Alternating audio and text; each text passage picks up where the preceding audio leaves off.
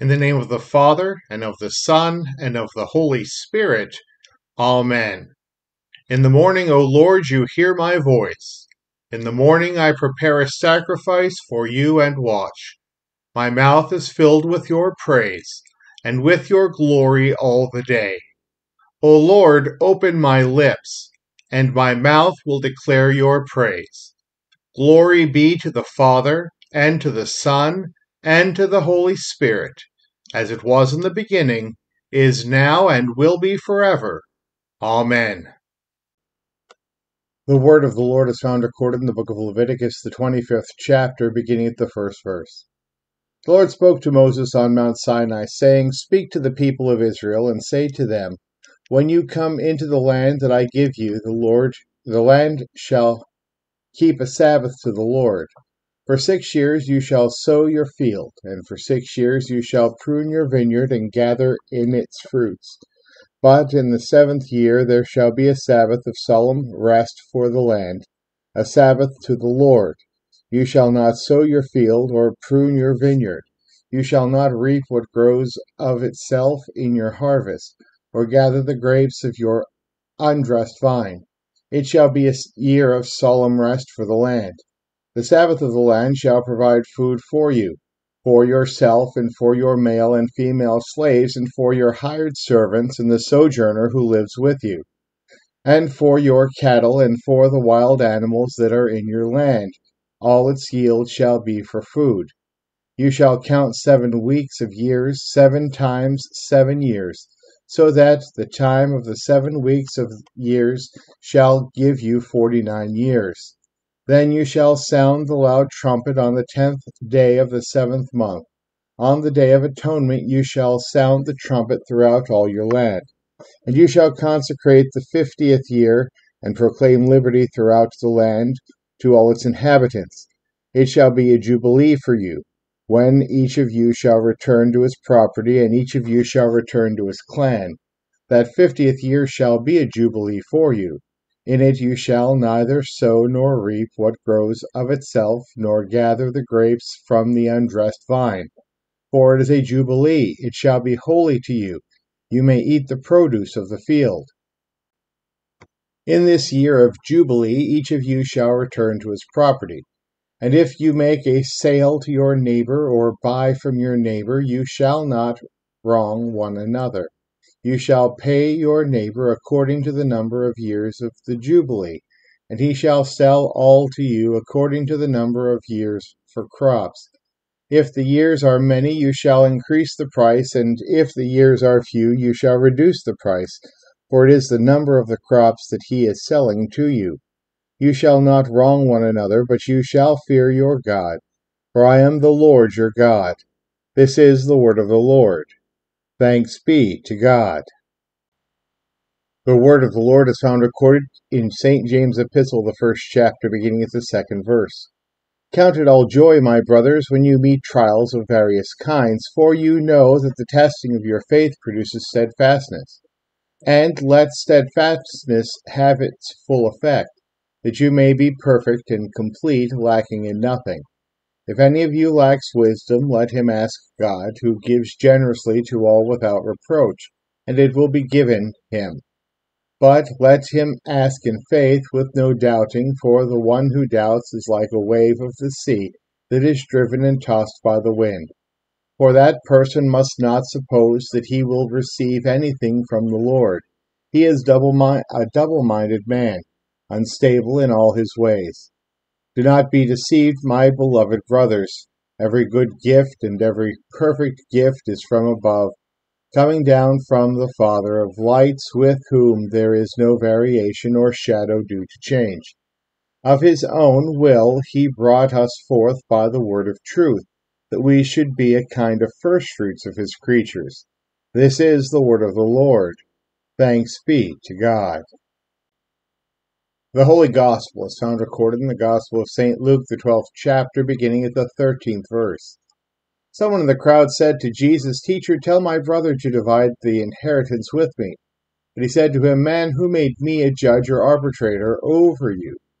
And he said to them, Take care and be on your guard against all covetousness, for one's life does not consist in the abundance of his possessions. And he told them a parable, saying, The land of a rich man produced plentifully. And he thought to himself, What shall I do? For I have nowhere to store my crops. And he said, I will do this I will tear down my barns and build larger ones, and there I will store all my grain and my goods. And I will say to my soul, Soul, you have ample goods laid up for many years. Relax, eat, drink, be merry. But God said to him, Fool, this night your soul is required of you, and the things you have prepared, whose will they be? So is the one who lays up treasure for himself and is not rich toward God. This is the word of the Lord. Thanks be to God. A devotion taken from writings of fathers of the early church based on the gospel lesson selected for today, first from Ambrose. This whole passage is provided so that suffering may be endured for confession of the Lord. Since greed is often accustomed to tempt virtue, the Lord adds the pre- precept to remove this sin by stating the precedent Who has appointed me judge or divider over you? He who descended from a divine purpose fittingly declines earthly tasks and does not allow himself to be a judge of lawsuits or an arbitrator of riches. He is to judge the living and the dead and apportion deserts. You must not consider what you seek, but from whom you request it.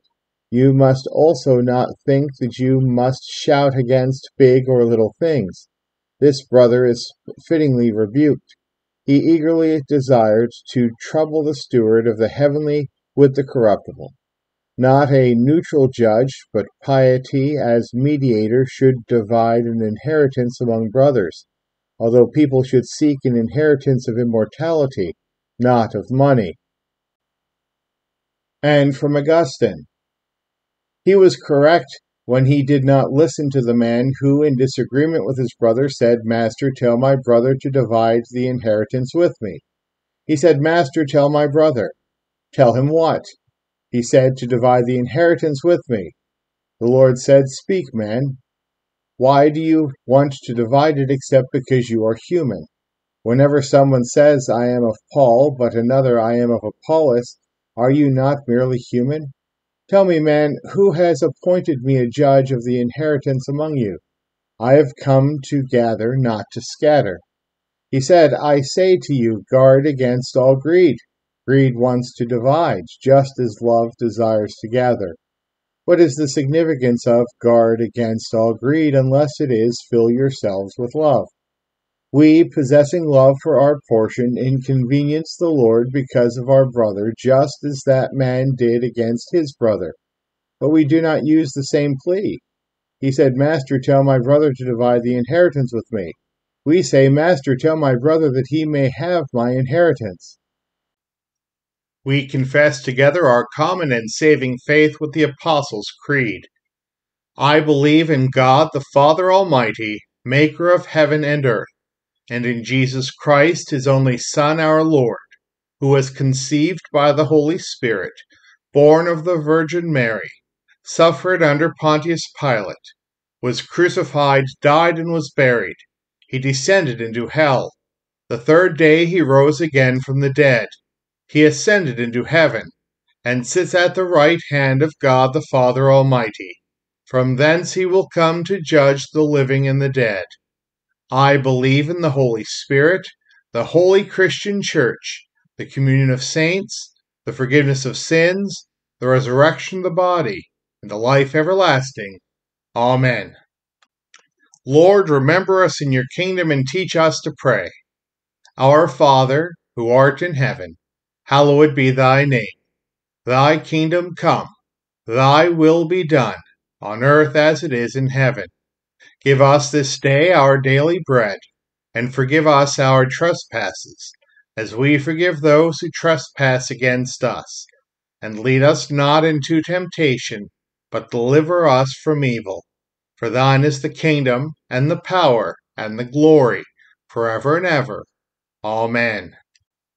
Almighty God, merciful Father, who created and completed all things, on this day when the work of our calling begins anew, we implore you to create its beginning, direct its continuance, and bless its end, that our doings may be preserved from sin, our life sanctified, and our work this day be well pleasing to you. Through Jesus Christ our Lord. Amen. I thank you, my heavenly Father, through Jesus Christ your dear Son, that you have kept me this night from all harm and danger. And I pray that you would keep me this day also from sin and every evil, that all my doings and life may please you.